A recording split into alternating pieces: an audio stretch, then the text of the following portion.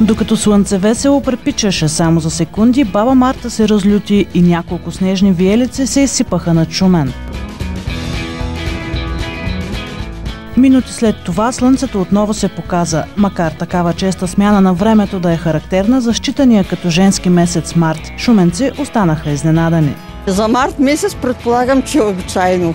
Но все пак ви изненада. Да. О, да, изненадам.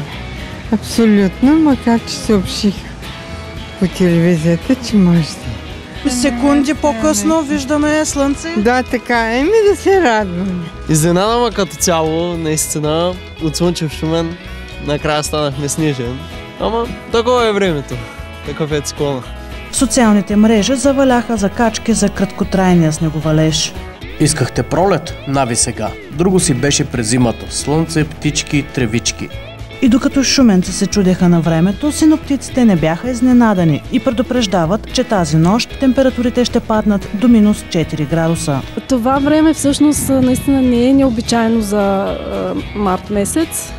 Всъщност е доста обичайно. А, през април понякога при студени нахлувания също не са изключени валежи от сняг. А, този, през, през този април обаче температурите ще бъдат а, около обичайните и малко по-високи. Така че а, ако има валежи от дъжд и сняг, а, те по-скоро ще бъдат в началото на месеца, т.е. в средата на следващата седмица. Вижте какъв красив сняг на парцали.